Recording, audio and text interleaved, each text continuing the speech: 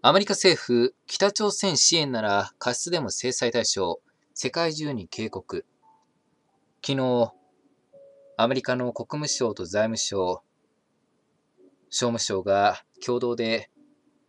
北朝鮮が弾道ミサイル能力を向上させ続け、地域や世界の安定にとって重大な脅威となっている。北朝鮮による弾道ミサイル開発に関わる調達を支援すれば、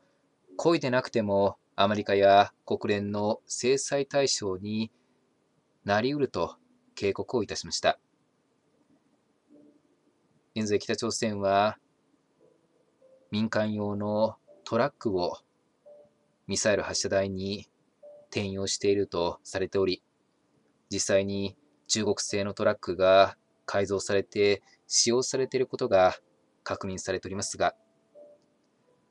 現在北朝鮮は朝鮮労働党の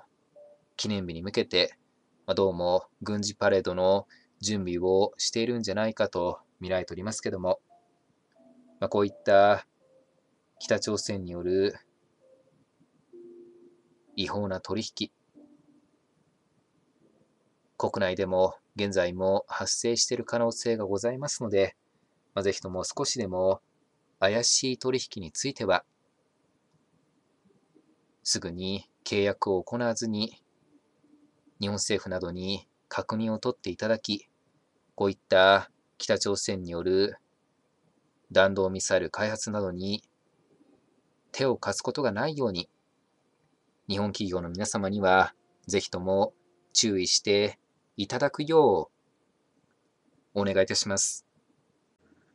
以上になります。ご清聴いただき、ありがとうございました。